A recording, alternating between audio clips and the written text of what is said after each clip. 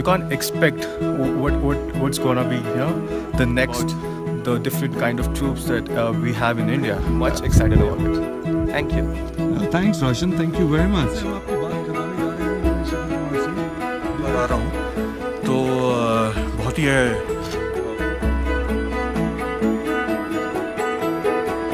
uh,